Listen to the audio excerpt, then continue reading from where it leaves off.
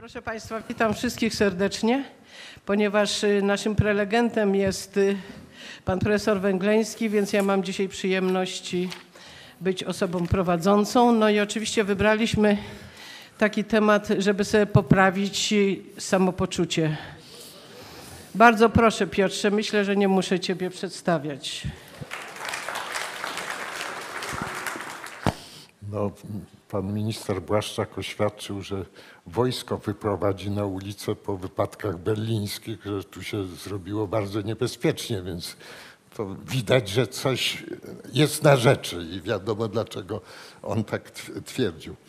Y, Proszę Państwa, y, ja sobie wybrałem taki temat o y, najnowszych dziejach głupoty w Polsce, bo takich książek o głupocie w Polsce było już kilka. Tam jedna z chyba z XVI wieku.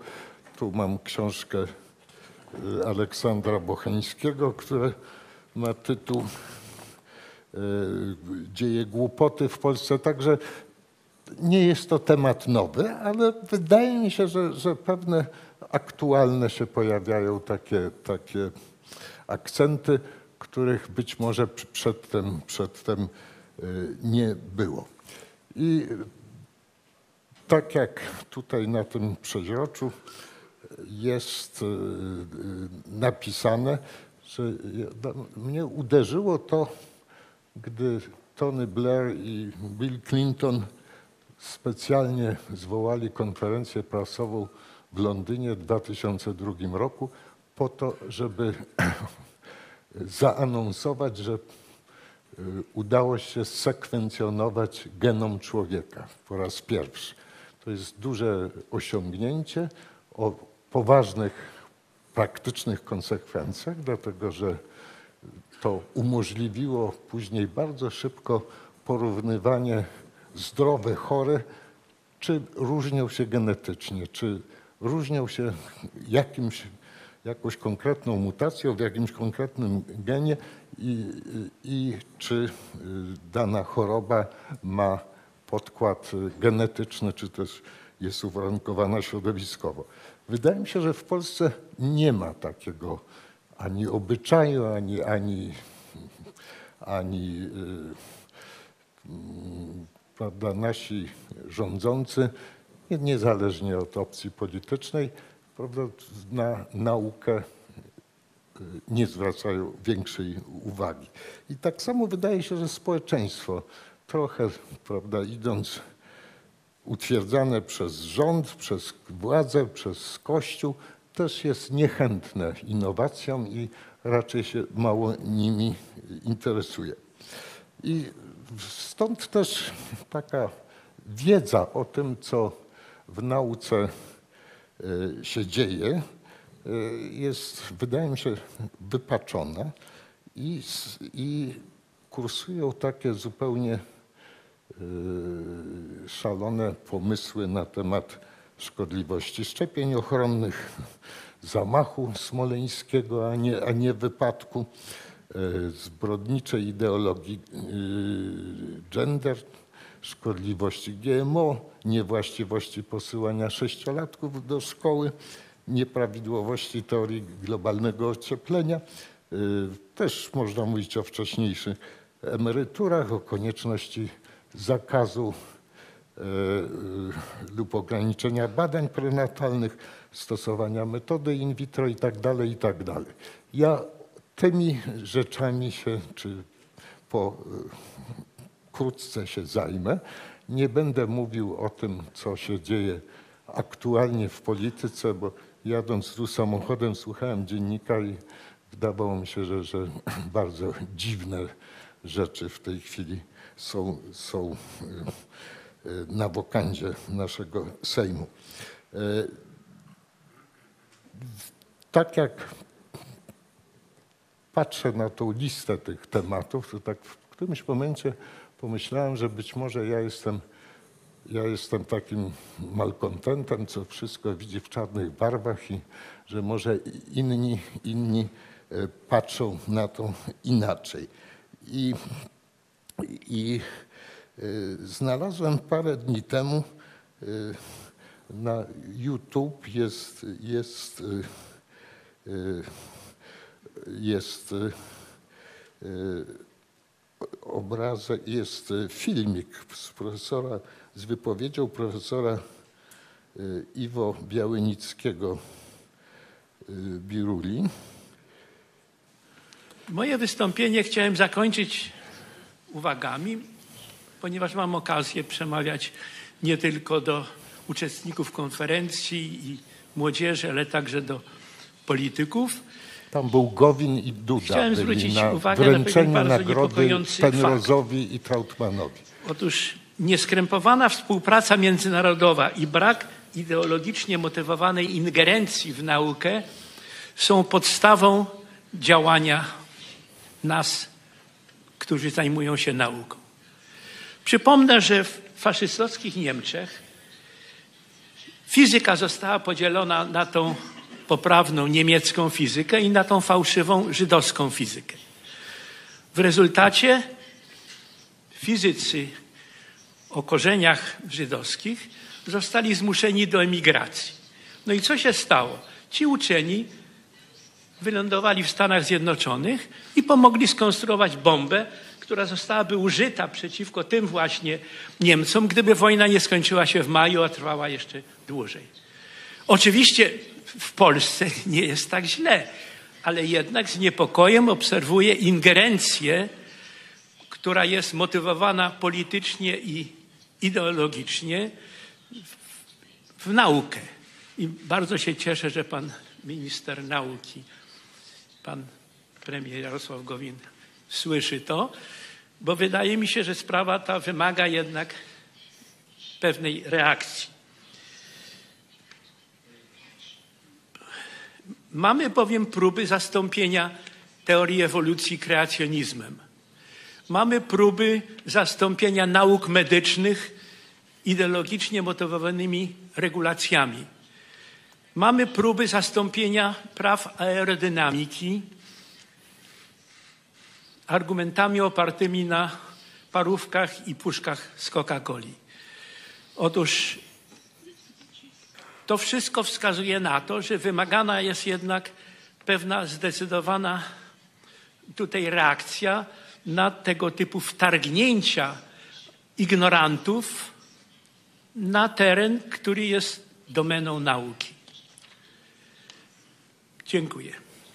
Więc y, to, y, to y, właśnie utwierdziło mnie, mnie w przekonaniu, że nie jestem jedynym, który widzi, widzi te właśnie te, mm, to postęp w y, takim opatrznym i nierozsądnym, nieracjonalnym widzeniu świata i że są inni. Prawdopodobnie y, jest nas przynajmniej dwóch, ale przypuszczam, że jest nas w świecie akademickim dużo, dużo y, y, o, o wiele więcej.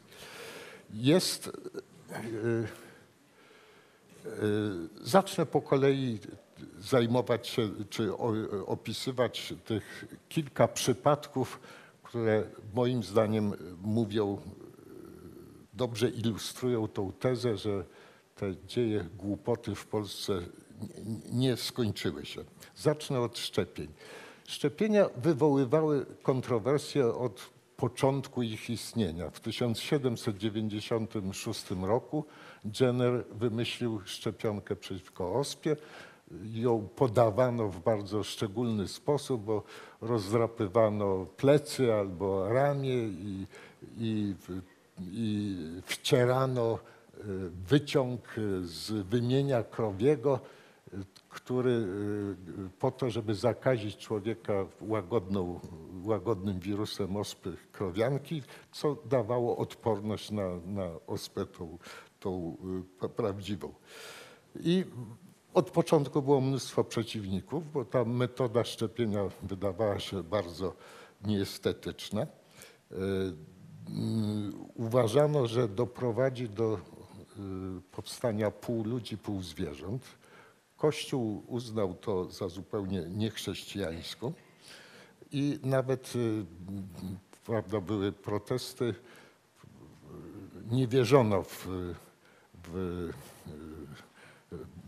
to, w ogóle to, że ospa jest zakaźna, ta prawdziwa i któryś z lekarzy y, powiedział, że on spędzi y, tam jakiś czas z chorymi cho- na ospę i że nic mu się nie stanie. To okazało się, że bardzo ciężko się rozchorował na ospę i, i z, trudem go y, odratowano.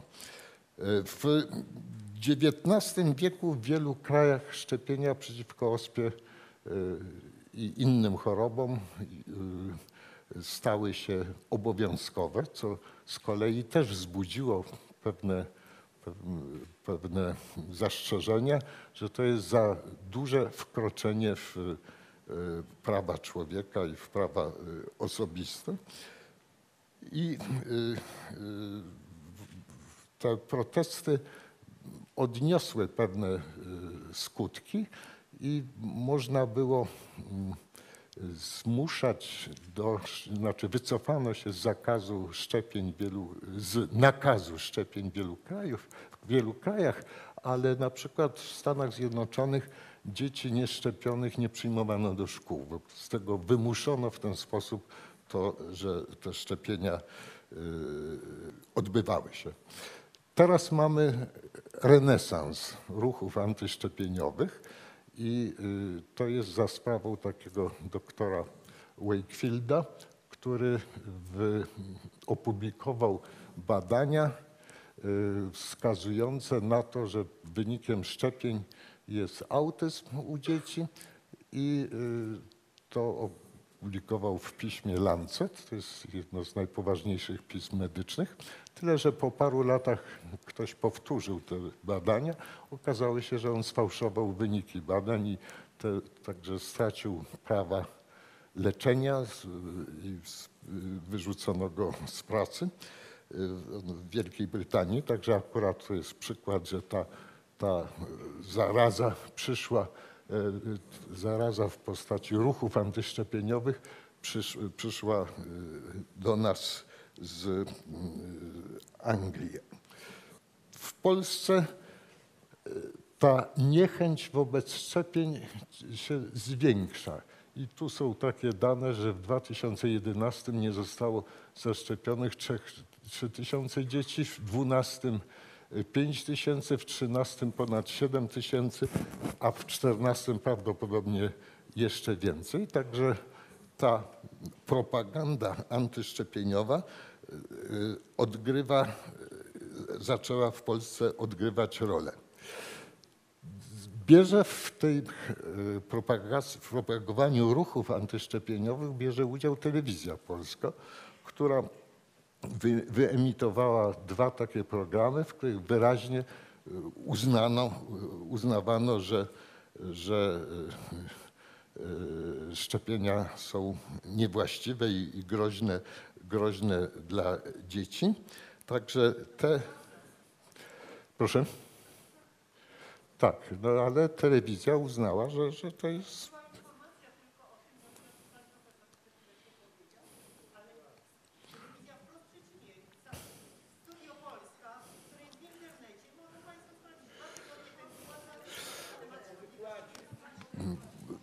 Dobrze.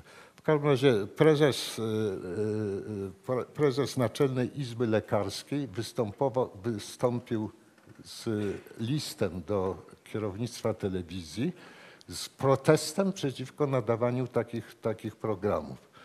Także tak wydaje mi się, że, że ta informacja była podana przez całą prasę. Także nie, nie wydaje mi się, żeby to ktoś tutaj, tutaj kłamał w tej, w tej, w tej sprawie. Y, I y, takim objawem tej, tej propagandy antyszczepieniowej są wystąpienia rozmaitych takich, mm, takich y, mm, osób jak pan doktor Ryszard Grzybek w programie Szeptem. To też jest program telewizyjny. Właśnie tak jak, jak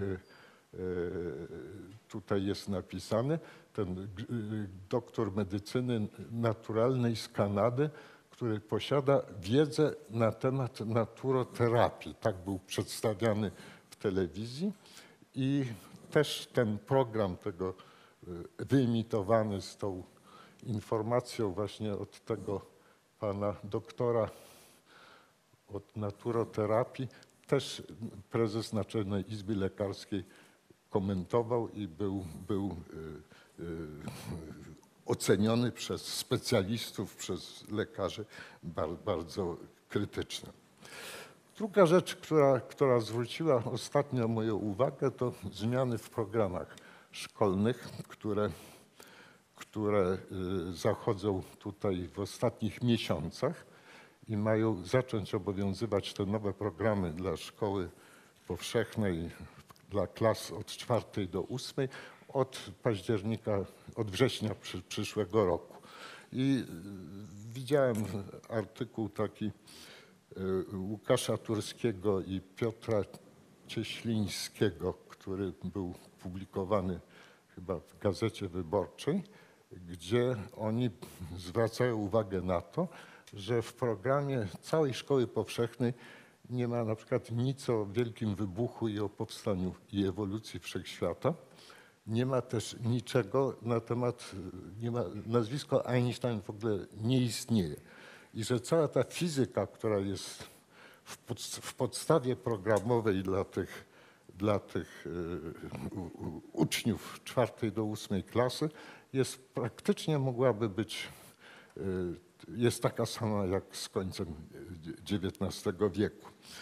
Y, Znalazłem też na temat programu nauczania języka polskiego w, y, takie stanowisko Rady Języka Polskiego, które tutaj jest y, przedstawione, że też mają, ma Rada Języka Polskiego ma ogromne zastrzeżenia zarówno do treści programu nauczania polskiego, a szczególnie duże do zestawu lektor dla uczniów szkoły podstawowej, który zdaniem tej rady jest, jest całkowicie taki infantylny i raczej jest, są to lektury, które, które dzieci, dzieci niższych klas powinny znać już, a nie powinno się nimi zawracać głowy y, y, starszym dzieciom, znaczy już od czwartej do ósmej klasy.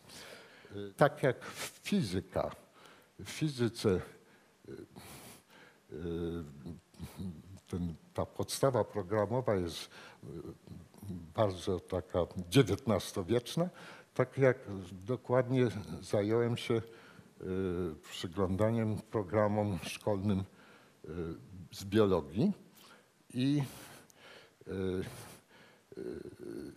zauważyłem, że, że praktycznie w całości to nauczanie biologii w szkołach od, w klasach od czwartej do ósmej jest y, poświęcone systematyce. Znaczy po kolei omawiane są wszystkie grupy roślin, zwierząt, wszystkie rodzaje. Jest bardzo duży rozdział o parzydełkowcach, które, y, który, i to z, o, każdej takiej gromadzie, czy, czy nawet niższej jednostce y, systematycznej jest mowa, gdzie występują, jak są zbudowane, jakie znaczenie dla człowieka i ten materiał jest typowym materiałem pamięciowym. Tam nie ma nic do myślenia. Trzeba nauczyć się, nauczyć się szczegółów y, budowy właśnie jakichś, jakichś y, roślin czy, czy zwierząt. Ja, nie oznacza to, żeby ten program był, y, te podstawy programowe jakoś dużo gorsze niż y, te, które były poprzednio. Ja sobie zadałem trud jakieś 4 lata temu. Nabyłem wszystkie podręczniki biologii do szkoły podstawowej, gimnazjum i liceum i zrobiłem taki przegląd, przegląd to, czego uczy się z biologii dzieci w szkole. I tam y, właśnie nie było żadnych. W tej chwili ta biologia nowoczesna, współczesna zaczęła się w 1953 roku od tej podwójnej spirali DNA Watsona i Cricka. W szkole o, o tym jest bardzo niewiele. Ciągle jest ta systematyka i y, są takie, takie powiedzmy podręczniki jak testy z biologii czy, czy nowoczesne repetytorium wybra z wybranych działów biologii i można znaleźć tam takie zagadnienia dla uczniów. Na przykład moim ulubionym jest pytanie, z której strony głowy ma otwór gębowy wypławek. Z prawej, z lewej, w środku żadne z powyższych. I trzeba zakreślić tą prawidłową odpowiedź. Ale takich, takich właśnie zagadnień ważnych jest w tych ba- bardzo dużo. Takie mm, to jest nowoczesne repetytorium. Homologią, homologiem makrosporangium widliczki jest a. woreczek zalążkowy roślin okrytozalążkowych, b. ośrodek zalążka sosny, c. kilkukomórkowy woreczek zalążkowy roślin nasiennych, d. zalążnia słupka roślin okrytozalążkowych. To kto z Państwa potrafi wybrać właściwą odpowiedź? Ja na pewno nie, na, na, ale tak zastanawiam się, po co, po co y, właśnie się y, tego typu, tego typu y, ten, wybierz właściwą liczbę różnych rodzajów RNA występujących w komórce A1, B4, C12, D20, E50, 60. Też to trzeba, ten uczeń musi zapamiętać, musi, prawda? Tam nie ma nic do myślenia, jest wszystko do wykucia. I teraz to wydaje mi się, że to nie jest wynik jakichś działań politycznych, jakichś ministrów, rządu. To jest rezultat naszych działań, bo tych, którzy piszą te podręczniki z biologii, z historii, bo jak pytam kolegów z historii, z matematyki czy z fizyki, to dokładnie mają takie same wyobrażenie, czy taki sam pogląd na temat jakości podręczników szkolnych, jak ja mam o podręcznikach z biologii. Ja wtedy napisałem taki raport do ówczesnej minister oś, oświaty, żeby minister edukacji i proponowałem, że zorganizuję zespół do napisania podręczników z biologii. I nawet wiem od jednego z wiceministrów, że, że, że dotarło to, to moje pismo i że wzbudziło zainteresowanie. W każdym razie to było cztery lata temu.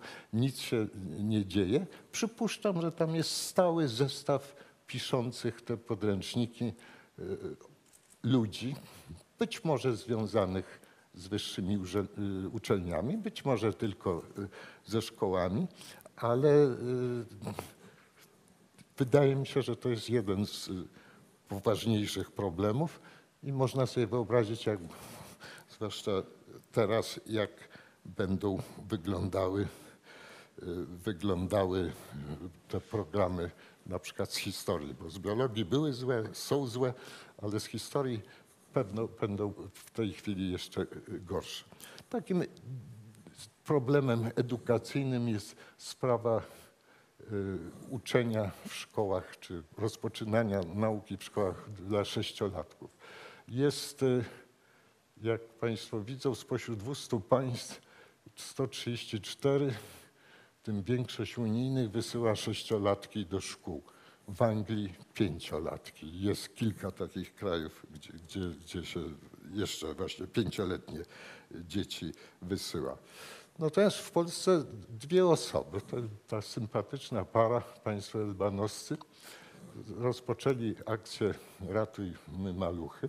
Oni są w tej chwili doradcami i minister edukacji, czy ministra edukacji i- prezydenta.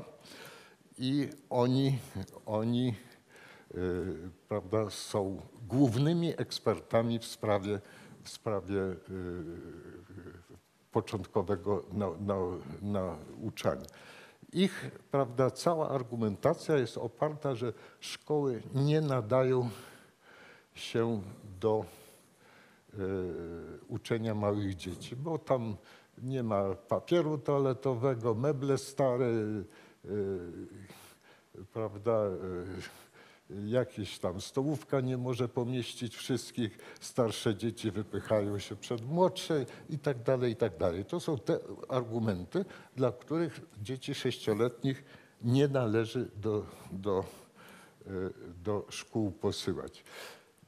Problem tu chyba najpoważniejszy jest taki, że oczywiście jeżeli pośle się siedmioletnie dziecko do szkoły, ono zacznie się uczyć razem z sześciolatkami, to ono będzie wypadało dużo lepiej. I rodzice są zachwyceni, że dziecko jest prymusem, że uczy się lepiej niż, niż inne dzieci. Tylko, że to na przyszłość nie rokuje tego, y, że, że będą te osoby miały stale y, taki, y, taki, taką przewagę nad innymi. Trzymając się spraw, spraw y, takich związanych z nauczaniem, to to, o czym ten profesor Iwo Birula-Białnicki mówił, że w Polsce zaczyna się lansować kreacjonizm, co on jako fizyk widzi, że, że ten obraz tworzenia wszechświata jest właśnie raczej przypomina biblijny o- e, obraz stworzenia, a nie ten naukowy. A ja jako biolog widzę to, to w nauczaniu ewolucji świata ożywi- ożywionego. W każdym razie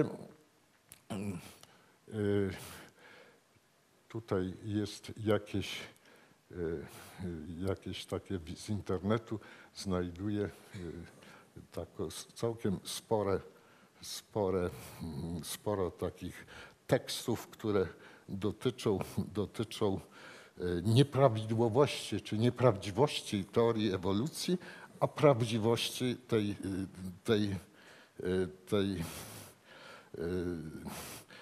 nauki kreacjonizmu. Tutaj mam taką książkę, którą kiedyś mi przysłano. To jest wspaniale wydana książka na temat właśnie kreacjonizmu, udowadniająca, że wszystkie, że wszystkie dowody na ewolucję są nieprawdziwe, że, że świat powstał w sześć dni i, i po kolei, tak jak to jest zapisane. Ja to puszczę, jeśli Państwo uniesiecie, to możecie przekazać, przekazać dalej, ale to jest taki przykład, jak ta e, teoria e, kreacjonizmu zyskuje nowe, nowe tereny. E, Mimo tego, że prawda, raczej Kościół katolicki był zwykle przeciwny teorii ewolucji, praktycznie dopiero Jan Paweł II kiedyś się wypowiedział, że teoria ewolucji to jest coś więcej niż hipoteza. Podtrzymał to później papież Franciszek, który już bardzo wyraźnie prawda, uznał, że, że teoria ewolucji yy, i, i wielkiego wybuchu nie są sprzeczne z nauczaniem Kościoła. Ale mamy liczne takie organizacje, jak na przykład Towarzystwo Biblijne. I tu jest taki cytat, że darwinowska teoria o pochodzeniu gatunków jest bezsprzecznie jednym z głównych filarów ateizmu i dlatego też podważanie jej wzbudza tak ogromne emocje. To czy też takie znalazłem, y, znalazłem taki, taki filmik.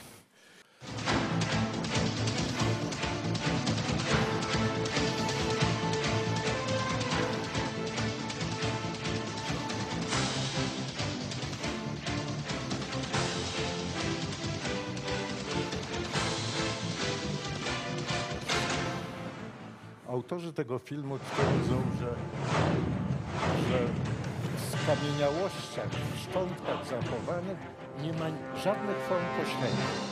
Że wszystko to, co się znajduje w nich, As you know, the theory of evolution maintains that millions of years ago, the Earth must have been entirely populated by primitive life forms.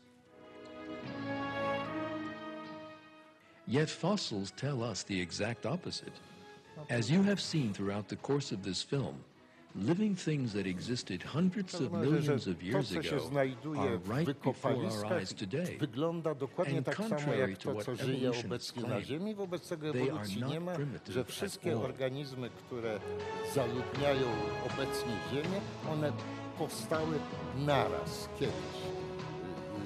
I nie zmieniały się w trakcie, w trakcie, w trakcie historii świata. Także y, mamy tutaj zarówno Fossils document the na fact tem- that even in the very liczne earliest przykłady times, właśnie there ryb, existed living ptaków, things e, e, różnych e, zwierząt, które zdaniem tych autorów się w ogóle nie zmieniły.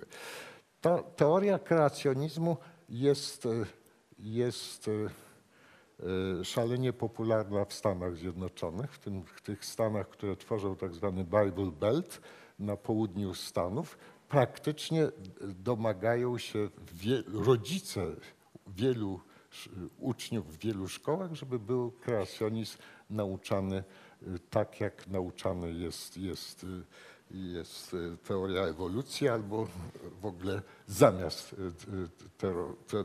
teorii ewolucji. Takim innym przykładem z takich mm, poglądów, moim zdaniem, zupełnie nierozsądnych jest coś, co wybuchło w Polsce bardzo niedawno, mianowicie dyskusje na temat tej gender, czy ideologii gender. Tu jest definicja, definicja y, y, tego gender jako właśnie płci kulturowej czy płci społecznej y, i z jakichś powodów, których ja zupełnie nie rozumiem, spotkało się to z ostrymi atakami ze strony, ze strony szczególnie naszego, w Polsce naszego Kościoła. Y, I y, Prawda, niebezpieczeństwo ideologii gender wynika w gruncie rzeczy z jej głębokiego, destrukcyjnego charakteru zarówno wobec osoby, jak i relacji międzyludzkich, a więc całego życia społecznego. Jak do tego można dojść do takich wniosków? Bardzo trudno jest, jest, jest wytłumaczyć.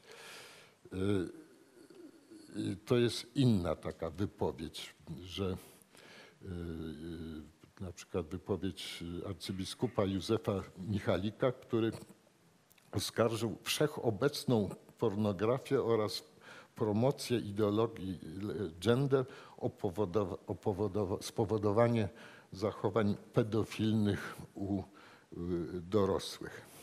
Inny biskup polski, pan biskup Wojciech Polak. Filozofia seksualności, którą nazywa gender, a nawet raczej ideologia gender, poprzez zakwestionowanie płci jako faktu wynikającego z natury, w rezultacie prowadzi do zmiany wizji samego człowieczeństwa.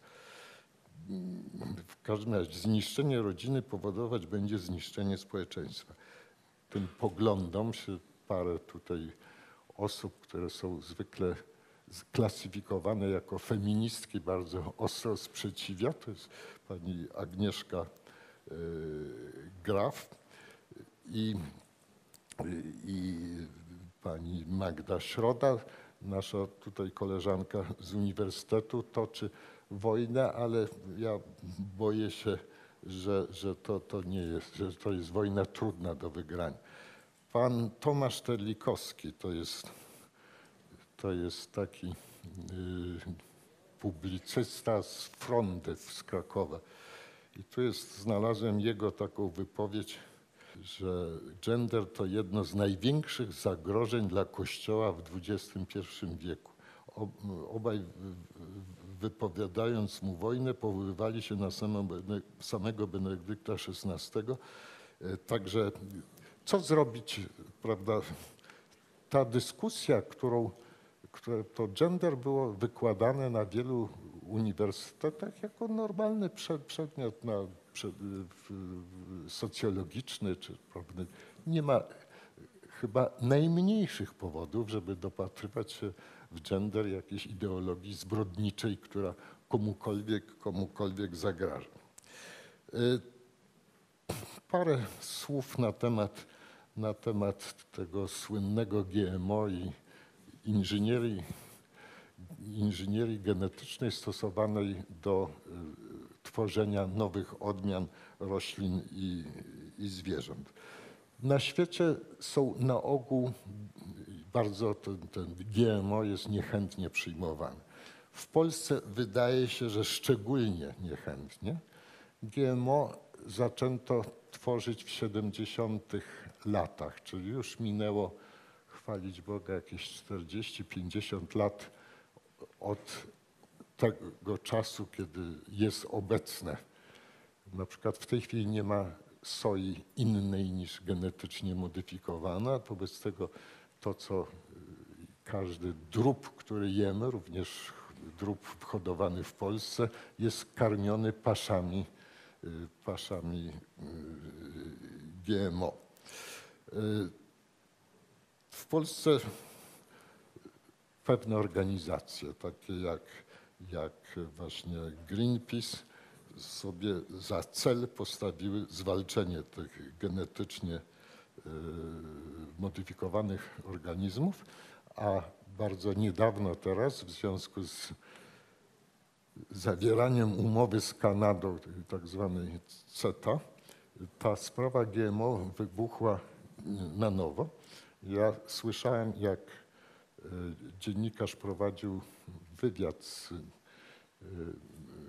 ministrem rolnictwa z PSL-u, panem Sawickim i y, pan Sawicki powiedział, że ta umowa z CETA jest niekorzystna, bo Kanadyjczycy wykorzystają ją do zalania Polski produktami GMO. Ten dziennikarz nie zapytał go, co w tym złego, czy, czy jakie to produkty ma na myśli. W Polsce w tej chwili dopuszczona jest tylko jedna odmiana kukurydzy, którą, którą y, GMO, którą można hodować i, i, i używać.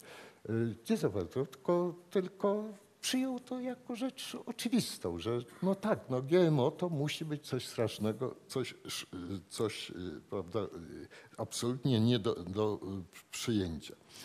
I ta skutek propagandy anty-GMO jest taki, że, że w ogóle spada w Polsce zaufanie do wszelkich nowoczesnych techn- biotechnologii, a w 2012 7% Polaków nie użyje leku ratującego życia, jeśli pochodzi, pochodzi z GMO. Dobrze, że 7, ale myślę, że, że y, jak tak dalej pójdzie, to pewno będzie 27 n- niedługo. Tu jest też y, takie jest ciekawostka, to jest oryginalna pisownia, y, którą wykorzystałem, jak y, ogłoszono, że tam jacyś uczeni z Papieskiej Akademii Nauk uznali, że, GMO nie, że w GMO nie ma nic szkodliwego i, i niestosownego. Pięcioksiąg wyraźnie mówi o tym, że nie wolno łączyć dwóch gatunków. Jest czas na zamknięcie wszystkich, wszystkich fabryk Monsanto i tak dalej, i tak dalej, i tak dalej. Prawda? Ta, te sprawy GMO, ludzie bardzo mało o tym wiedzą, ale, ale emocje są ogromne. W Polsce przetłumaczono tą książkę, y, której autorem jest pan Jeffrey Smith, to się nazywa po Polsce Nasiona Kłamstwa. A pan Jeffrey Smith to jest nauczyciel tańca ze stanu Iowa w Stanach Zjednoczonych, który napisał dwie takie książki skierowane przeciwko GMO. Y, Ten pan jest joginem i twierdzi, że potrafi lewitować i to jest właśnie zdjęcie zrobione, jak on unosi się tam pół metra nad, nad, nad y, ziemią. I on został uznany za guru wszystkich tych, którzy, którzy y, nie lubią GMO. I na przykład pan minister środowiska z tą książką biegał po Sejmie, nią wymachiwał i opowiadał, że to jest właśnie główny, główny że to jest, są znakomite dowody właśnie szkodliwości, y, szkodliwości GMO. Y, Notabene w Polsce wprowadzono prawo dotyczące badań nad GMO i e, jak mają być prowadzone. I na przykład e, są wyraźnie określone warunki, w których e, powinny być, czy mogą być prowadzone doświadczenia z GMO. I jeżeli ktoś robi takie doświadczenia nie w pracowni dostosowanej do GMO, to y, grozi mu 6 lat więzienia. To jest dużo więcej niż, nie wiem, przejechanie człowieka czy potrącenie na, na to. W każdym razie y, to prawo jest sformułowane w sposób zupełnie niesamowity. Warto podkreślić, że y, na przykład w Stanach Zjednoczonych i gdzie indziej ten przepis jest taki, że doświadczenia te biologiczne, w tym doświadczenia nad GMO, powinny być prowadzone w takich warunkach, żeby najbardziej niebezpieczny element tego doświadczenia y, y, był wzięty pod uwagę. To znaczy, jeśli robimy ludzką insulinę w szczepach drożdży y, piekarniczych, a taka insulina jest robiona tu w Macierzyszu pod Warszawą, to ani ludzka insulina, ani drożdże nie są w ogóle szkodliwe i tu nie trzeba żadnych zabezpieczeń. To, że, że produkujemy tą ludzką insulinę w, z, z, z drożdży, prawda, to prawda, nie ma w tym nic niebezpiecznego. Natomiast jeżeli byśmy robili szczepionkę przeciwko y, wirusowi HIV, to oczywiście zabezpieczenia powinny być takie, jakie stosowane są przy pracy z, z, z, wirusem, z wirusem HIV. Tych roślin, które już są na świecie użytkowane czy, czy, czy y, hodowane, i, i ten, to, to tu jest taka lista. Zwracam uwagę na tą ostatnią miejsce, to jest złoty ryż.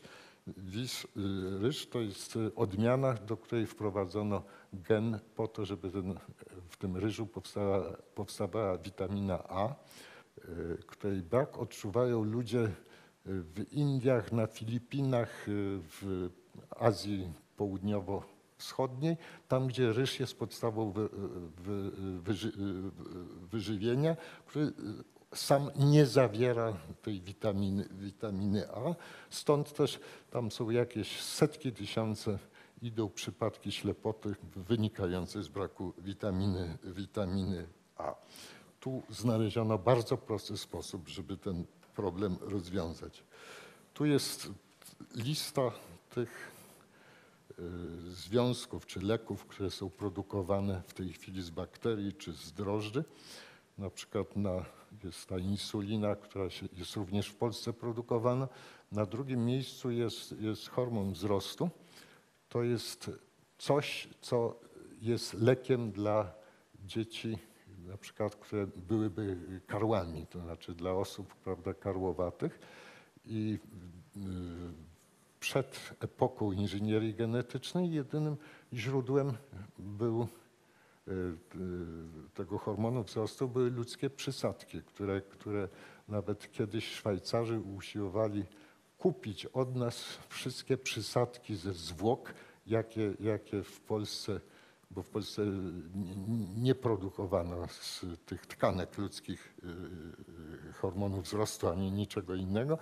I nawet wtedy się nie zgodzono, żeby to jest taki handel, że tak powiem, ciałami czy elementami ciał ludzkich i żeśmy nie eksportowali. W tej chwili jeden fermentor w Kalifornii zapewnia całe światowe zapotrzebowanie na hormon wzrostu, które zresztą bardzo wzrosło, bo y, jest wykorzystywany przez kulturystów budujących sobie, sobie odpowiednią, odpowiednią sylwetkę. Y, Zwierzęta mamy genetycznie modyfikowane i tak samo zaczęły się genetyczne modyfikacje ludzi. To jest taki słynny przypadek, taki bubble boy, dziecko, które pozbawione y, na skutek genetycznych wad układu y, immunologicznego, obronnego. Stąd też musiało być w takim pęcherzu czy balonie cały czas przetrzymywane po to, żeby nie kontaktować się z nikim i z niczym, żeby bo zwykle dzieci z takim brakiem odporności były w stanie, można było je utrzymać najdłużej kilkanaście lat przy życiu i zawsze później coś się tam z nimi działo. I mm, teraz jest na to prawda, wystarczająco dobra metoda i pewna. Zaczęto terapię genową w leczeniu nowotworów stosować i też przez, przez wstawianie odpowiednich genów, o ile rak, rak, y, nowotwory mają podkład genetyczny i jest kilka takich genów, których mutacje powodują to, że, że jest duża pewność, pewność, że y, osoba posiadająca tą mutację za, zachoruje na jakie, na jakie nowotwory. Notabene y, y, z naszego uniwersytetu Jacek Jemielity, y, Edward Darżynkiewicz i, i y, Justyna Kowalska y, teraz bardzo niedawno, w listopadzie była taka głośna sprawa, bo wymyślili szczepionkę przeciwnowotworową, która e, bardzo wzbudziła duże zainteresowanie w momencie, jak prasa ogłosiła, że szczepionka została sprzedana przez niemiecką firmę, której, którą ci nasi wynalazcy przekazali do prób klinicznych za 300 milionów dolarów w firmie Roche i później drugiej firmie za y, też następne 300 milionów dolarów. Komentarz pana y, premiera Morawieckiego był taki, no polscy uczeni nawet jak coś potrafią wymyśleć, to nie potrafią tego wdrożyć. On później, to sam słyszałem w telewizji, wycofał się z tego i powiedział, że, że w Polsce nie ma tych mechanizmów, które, które pozwalają na wykorzystanie wynalazków. Te y, y, próby kliniczne kosztują między 20 a 40 milionów euro jedna. Więc tu nasz uniwersytet jest bardzo wielki i wspaniały, ale tutaj nasi rektorzy chyba by nie wyłożyli 20 czy 40 milionów euro na lek, który jeszcze prawda, nie bardzo wiadomo, czy będzie działał, więc to jest taka inwestycja ryzykowna. Natomiast w tym układzie jest, jest powiedziane, że, czy, czy jest w tej umowie, którą ci nasi wynalazcy zawarli, że w momencie, jak będzie w produkcji yy, i w sprzedaży ta szczepionka, to yy, 3% wartości od przychodu będzie, będzie sz- szło tutaj, yy, tutaj yy, yy, do nas. Norman Borlaug to jest ten laureat pokojowej Nagrody Nobla za zieloną rewolucję w Indiach. On był taki niesłychanie wielkim zwolennikiem GMO. Twierdził, że, że, że e, prawda, to, co- czym on dysponował, cała ta metodologia hodowania roślin, tworzenia nowych odmian, to wystarczyło, e, żeby wyka- wykarmić 7 miliardów ludzi, czyli tyle, ile wtedy za jego czasów było. Ponieważ teraz nas już jest więcej, a będzie bardzo niedługo jeszcze więcej, to te metody y, nowe y, y, produkcji, produkcji roślin to będą, będą absolutnie, będziemy musieli z nich korzystać, żeby wykarmić wszystkich mieszkańców tej planety. Inny temat taki, takiej bardzo wyraźnej głupoty y, polskiej to y, interpretacje t- y, katastrofy, przyczyn katastrofy w- Smoleńsku. To jest cytat czy z TVP Info. Taki był tytuł. Rosyjski generał dokonał zamachu w Smoleńsku na zlecenie polskiego polityka. Taki był tytuł te, te, tego, tego materiału. I, a Gazeta Polska codziennie e, powołuje się na jakiegoś dziennikarza niemieckiego, który ma materiały, które wskazujące, że rosyjski wojskowy dostał zlecenie dokonania zamachu od polskiego polityka. Także Także to było i w TVP Info, i w, w Gazetce Polskiej codziennie. To jest autor tych wszystkich spekulacji, twierdzeń i opisów bomby helowej, bomby jakiejś tam próżniowej, która była powodem y, y, smoleńskiej. I tu Antoni Macierewicz y, odpowiada na pytanie, kto jest odpowiedzialny. To oczywiste, już nie ma mowy o hipotezach. I że ma y, Macierewicz dowody potwierdzające teorię, że w Smoleńsku doszło do, do y, zamachu. To, prawda, można by żartować, ale ten człowiek jest ministrem obrony w Polsce. I on, on prawda, jest w pewnym sensie odpowiedzialny za, za stan naszej armii i za to, czy my wypowiemy komuś wojnę, czy, czy, czy, czy nie wypowiemy.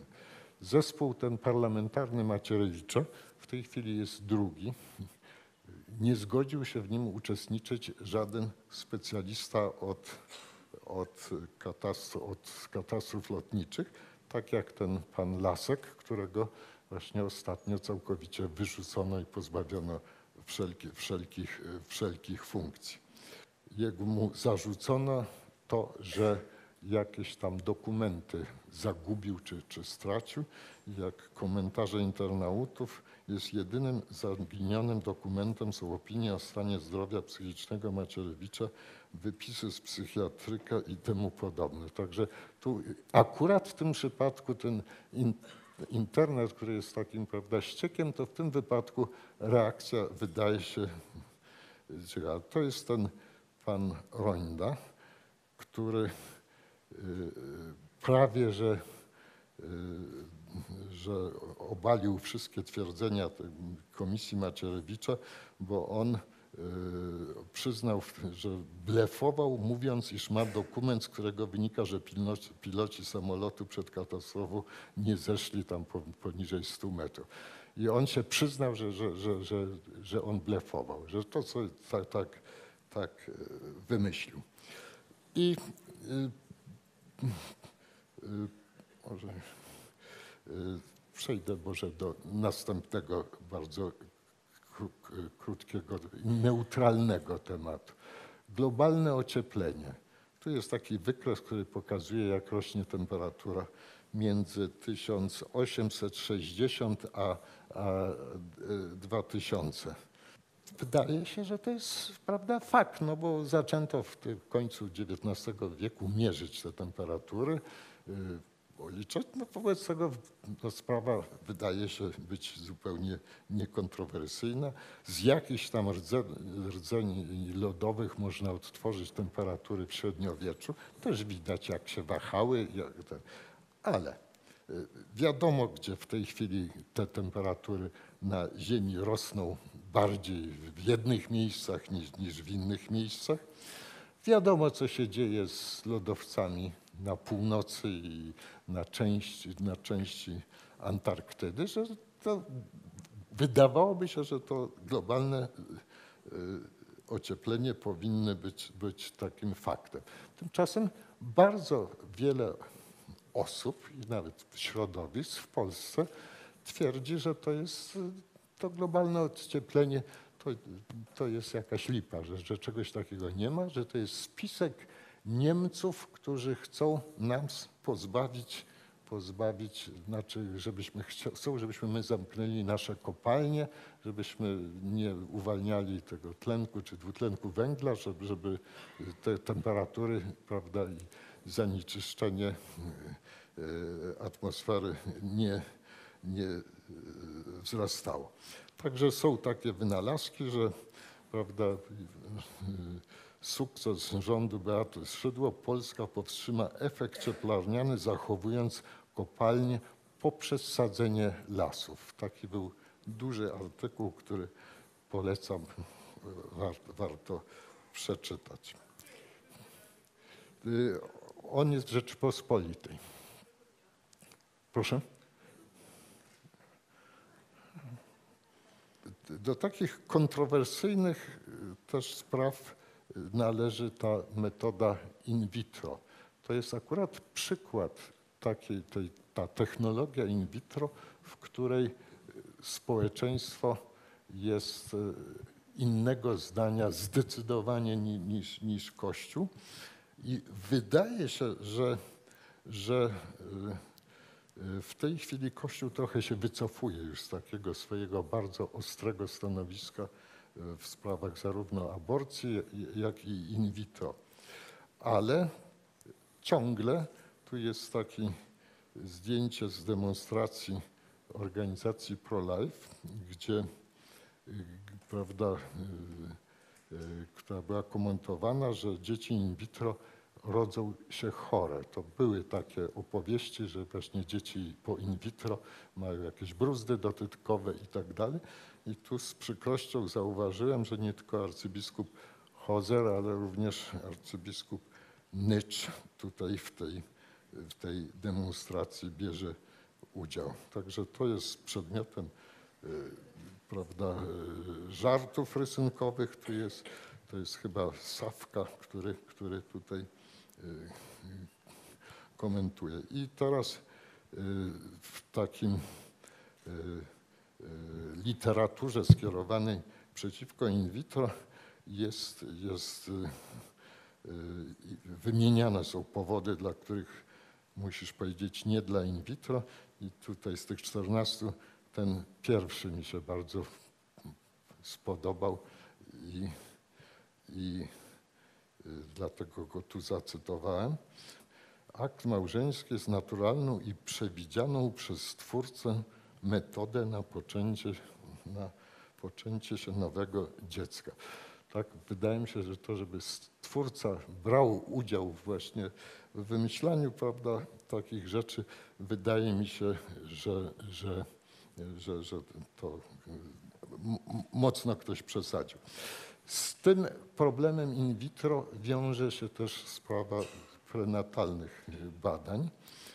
I tak jak znalazłem takie dane, to w Polsce tych badań prenatalnych wykonuje się y, y, 90% mniej niż w innych krajach Europy.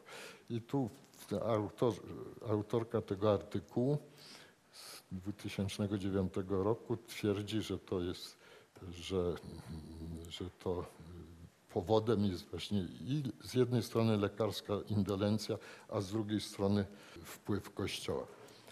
No i na sam koniec, to, prawda, czy te wszystkie nowe technologie, jak in vitro, jak, jak czy, czy, czy tu są jakieś powody do, do niepokoi, czy ten, i ja chciałem wspomnieć, że została wym- wymyślona taka metoda, która się nazywa CRISPR, która polega na tym, czy, czy prowadzi do tego, że można zmienić geny w żywym organizmie, w komórkach rozrodczych, w embrionie na wczesnych stadiach jego istnienia. Czyli potencjalnie powstała mniej więcej dwa lata temu taka technologia, która umożliwia w cudzysłowie, nie wiem, ulepszanie człowieka czy, z, z, czy zmienianie człowieka.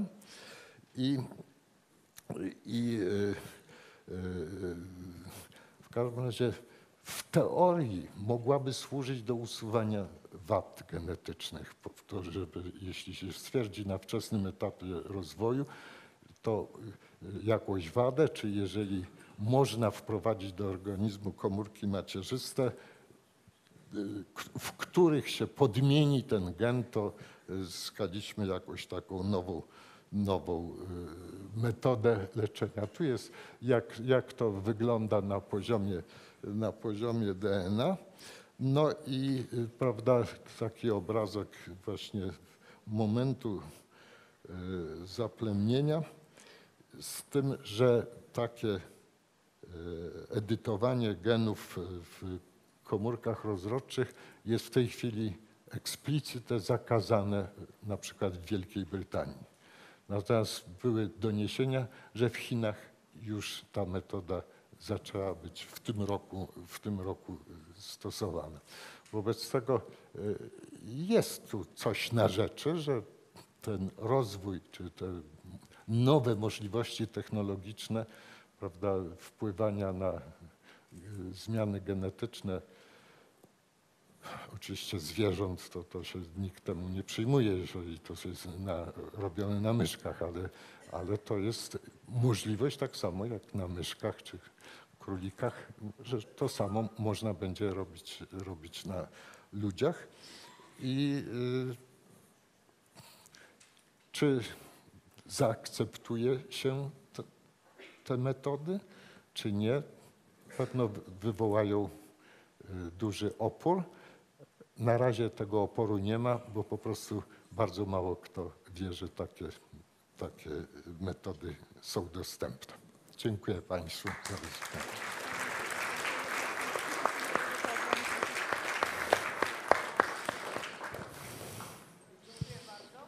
Proszę Państwa, teraz jest czas na pytania, komentarze. Bardzo proszę.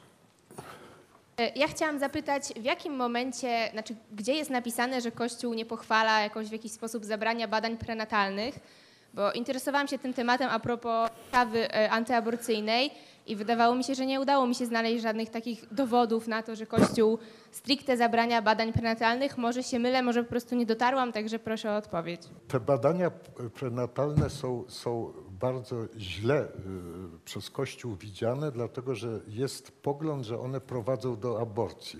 To znaczy, że jeżeli z badań prenatalnych wyniknie, że y, to y, dziecko czy ten płód ma na przykład dodatkowy chromozom tam 21 i ma Downa, że rodzice bardzo często decydują się na aborcję, także to nie chodzi o same badania prenatalne, ale ich ewentualny skutek w postaci decyzji rodziców o y, y, aborcji tego płodu.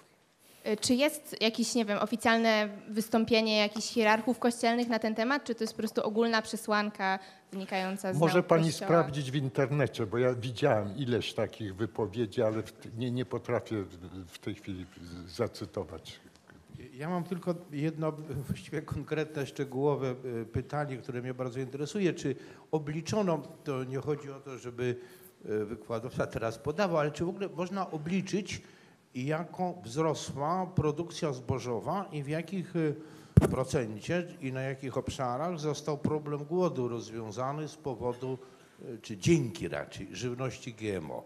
Czy, czy takie zestawienia są gdzieś, prawda? Bo z tego e, tutaj rozumiem, że chodzi nie tylko o ten ryż z witaminą, ale e, z tego co słyszałem czy wiem, są te na dużą skalę zakrojone programy, które umożliwiają produkcję zbożową w rejonach głodu i ratują od głodu.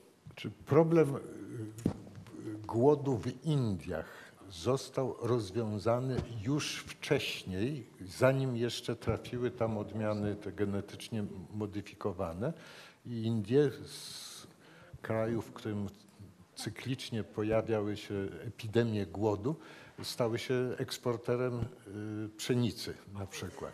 Ale wydaje mi się, że, że w tej chwili y, ja też nie, nie pamięci czy z głowy nie potrafię żadnych y, liczb podać, ale wydaje mi się, że z tych krajów, które bardzo intensywnie i na dużą skalę uprawiają y, rośliny GMO, to są przede wszystkim Stany Zjednoczone, y, kukurydza,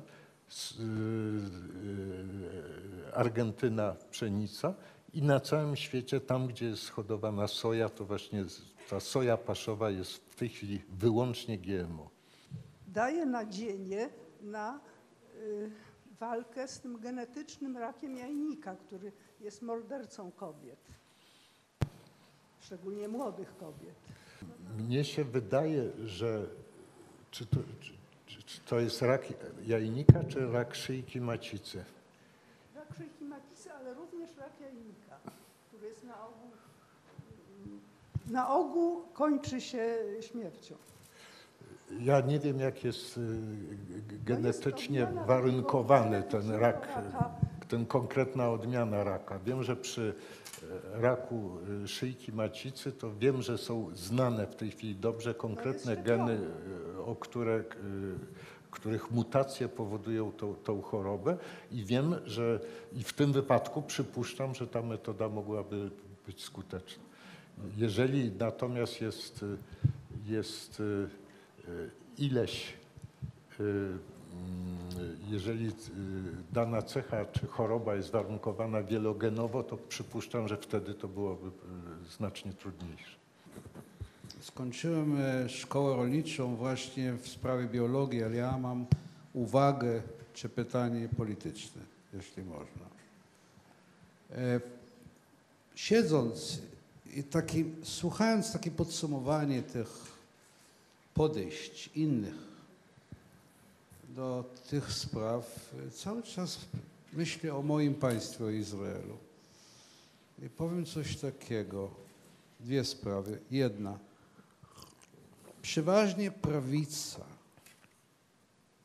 to nie jest stereotypowe to, co powiem, tylko typowe, dość typowe, ma do tych spraw, przepraszam, podobne podejście. My w Izraelu mamy już czwartą kadencję rząd prawicowy, wybrany demokratycznie, wiadomo, wszystko ok z punktu widzenia wyborów, koalicja prawicowa, w której religijne partii mają, ortodoksi mają ogromny wpływ na wszystkie sprawy. To nie jest nowość, ale tak mocno i tyle lat to jest nowość. Już dość cztery kadencji. E, U was, u was, ja wiem, u nas, u was. W Polsce e, Kościół ma jakiśkolwiek wpływ na taki rząd i mniej wpływu na inny rząd. I wtedy się ujawia coś takiego, niby chcą zatrzymać świat. Zatrzymać go. To jest e, to są sprawy do badania, ja wiem. Może u nas też, w naszym centrum, jak i profesor Sulowski pozwoli, może zrobimy coś, ale skromnego. Jedna uwaga. Druga uwaga. Jednak co do moc kobiet, bardzo ciekawe zjawisko w Izraelu. W tych sprawach religijnym partiom, przepraszam, po prostu się nie udało. Nie udało. Jest komisja, to jest, całe podejście jest inne, więc i to też jest ciekawe do porównania, z jakiego, bo religia żydowska, niby kobieta jest trochę z boku. Mąż jest, zajmuje się polityką, wszystko, a kobieta jest liderką rodziny. Ale może z tego powodu, że narodowość żydowska idzie z kobietą, stworzyła się taka duchowa moc przetłumaczona na polityczne życie.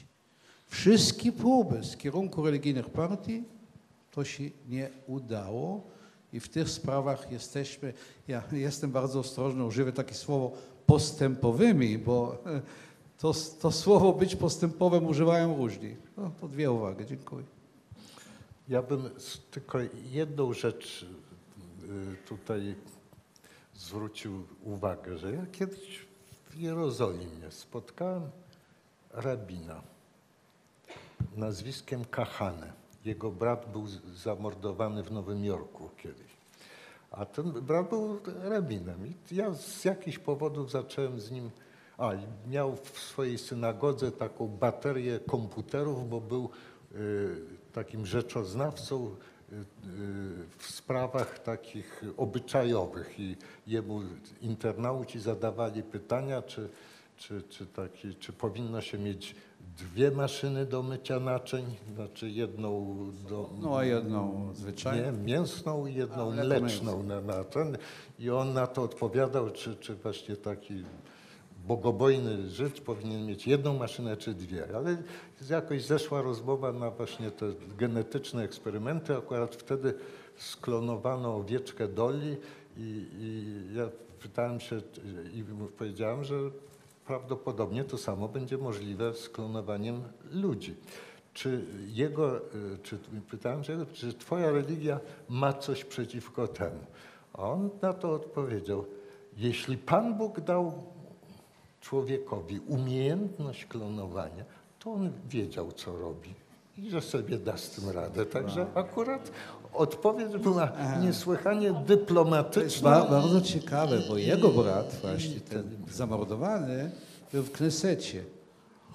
Byłem jego no, przewodniczącym i on, e, mieliśmy z nim ogromne problemy. Ten brat, który zamordowali go, on miał podejście bardzo ekstremalne, ekst- był takim nac, po prostu żydowskim nac, Fundamentalistą. nacjonalistą. Ja wiem, że to jest niebezpieczne słowo, ale to, to, to dobrze, że miał takiego brata i że nasz rektor go spotkał pięknie.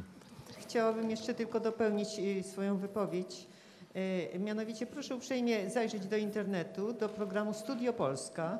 Dwa czy trzy tygodnie temu y, była mowa właśnie o szczepieniach. Być może obecne szczepionki, bo kiedyś były pojedyncze, teraz są podwójne, potrójne. I sposób ich aplikowania y, sprawia, że czasem dochodzi do nieszczęść. Tam właśnie w tym programie było wspomniane, jaki, do jakich nieszczęść dochodzi. Y, I dochodziło y, w niektórych przypadkach, tam stawiły się matki, które straciły swoje dzieci, albo których dzieci są w śpiączce na przykład po szczepieniach. Więc tu należy właśnie rozważyć, czy metoda y, dawania szczepionek, czy też ich y, siła, że tak powiem, sprawiają, że czasem dochodzi do y, sytuacji bardzo nie, nieprzyjemnych i w każdym razie sytuacji, w których no, do, dochodzi do, do, do nieszczęść ludzkich. Więc dlatego nie należy twierdzić, że szczepionki nie szkodzą, dlatego że są przypadki, kiedy właśnie szkodzą. A teraz jeszcze odwołując To się... trzeba podać statystykę, bo to wtedy można powiedzieć, czy szkodzą, Znaczy, czy nie szkodzą, jeżeli no, mamy właśnie statystykę. dlatego proszę uprzejmie, jeśli chodzi zaś o program telewizyjny, to ja tylko słyszałam takie y, w, dzienniku telewizyjnym właśnie troskę, że tak powiem, o to, że y, jest coraz, y, coraz mniej rodziców zgłasza się z dziećmi do szczepień, do szczepień i że to nie jest ko- korzystne i że należy to rozważyć. No, taką opinię słyszałam. Nie słyszałam natomiast być może program Szeptem, w którym dopuszczono jakieś inne y, osoby z zewnątrz, no w ramach demokratycznych wypowiedzi y, miały inne zdanie. Więc moim zdaniem jest bardzo prawdopodobne, że ta audycja, którą pani cytuje, była tą, która spowodowała tego e, reakcję Nie, nie, tego Szeptem Studio naczelnej Polska to są dwie przewodniczącego Naczelnej Izby Lekarskiej. Ja tylko chciałbym w- uświadomić państwu, że w latach 30., czyli XX wieku, kiedy nie było jeszcze w ogóle szczepień, 30% dzieci umierało na choroby zakaźne w ciągu pierwszych kilku lat życia. 30% dzieci. Teraz rzeczywiście czasem się zdarza, że przy tych szczepionkach multiwalentnych, bo są takie dwie, DTT czy coś tam, koklusz, krztusiec, tam błonnica i druga taka szczepionka, że zdarzają się powikłania i choroby. I z, podobno zdarzyło się kilka w skali światowej w przypadku Również zgonów, zgonów y, dzieci. No właśnie. No i, i Dlatego to budzi właśnie obawy pewne rodziców i mają prawo rodzice Właśnie- pytać. budzi obawy, obawy y, rodziców bardzo niedobrze, dlatego że rodzi- rodzice przestają szczepić dzieci, co epidemiolodzy twierdzą, że to skutki w przyszłości będą fatalne. No dopóki nie będzie zabezpieczenia stuprocentowego, że żadne dziecko nie umrze, ani nie będzie miało powikłań po takiej szczepionce. No zdarzają się, proszę uprzejmie obejrzeć program. A jeszcze drugie moje pytanie brzmi, a propos y, właśnie Smoleńska i, i tej według pana y, katastrofy, a niektórzy twierdzą, że zamach, więc ja chciałabym zapytać, ponieważ sam, samolot został znaleziony z kołami do góry, że tak powiem, y, czyli Ja myślę, że ten, że ten temat jest sekunda. tak głęboki i Ale ja tak mam skomplikowany, a ja jeszcze mam tutaj dwie osoby, Tak. które chcą zabrać Ja mam głos. tylko pytanie Także bardzo proszę- proszę o krótkie, konkretne pytanie. Tak, krótkie mam uprzejme y, pytanie następujące. Mianowicie pan profesor będzie uprzejmie powiedzieć, w którym miejscu została przyłożona siła, która obróciła samolot w ciągu kilku sekund do 180 stopni? 40, y, 20 ton i 40 metrów y, rozpiętości skrzydeł. Proszę uprzejmie powiedzieć, w którym miejscu? No pan profesor też nie jest fizykiem, ale pan profesor Bardzo, bardzo proszę wszystko. o przekazanie Dziękuję. tego pytania na Wydział Fizyki Uniwersytetu Warszawskiego. Y, Bardzo proszę tutaj, panie dziekanie. Wie pani, Dobrze, dobrze, dobrze. Strasznie mi przykro, ale strasznie mi przykro, ale to pan minister Antoni Macierewicz na pewno by dał na to pani odpowiedź. Ja nie. nie. Mam dowody. Nie.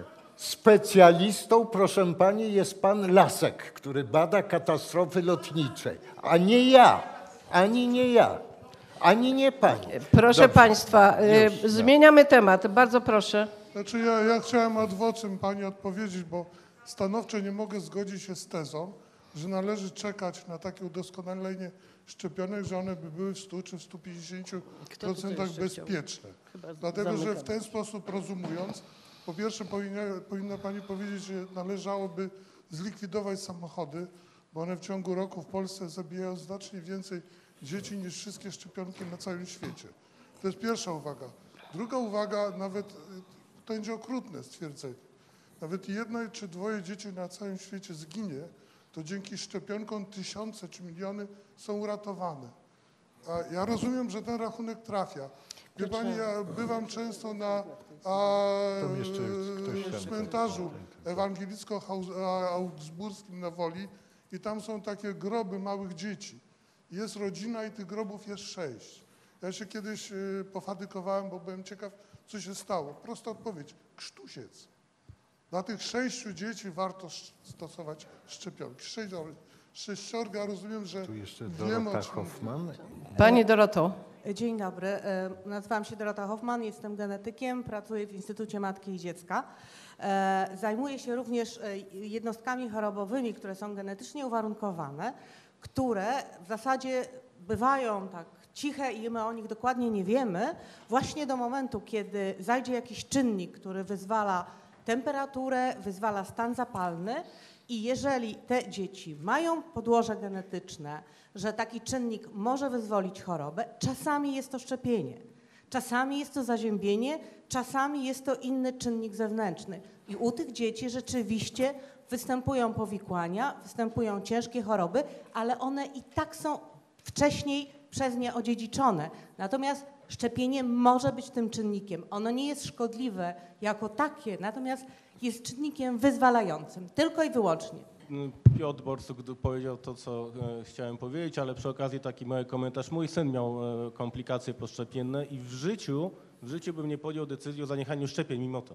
To jest absolutnie rzecz konieczna i nie życzę sobie, żeby w mojej klasie, w klasie mojego dziecka znajdowały się dzieci nieszczepione przez rodziców tylko dlatego, że rodzicom się wydaje, że to jest niebezpieczne. Bo to powoduje duże zagrożenie dla tych dzieci, które są szczepione po prostu. Dziękuję bardzo. Bardzo prosty jest mechanizm.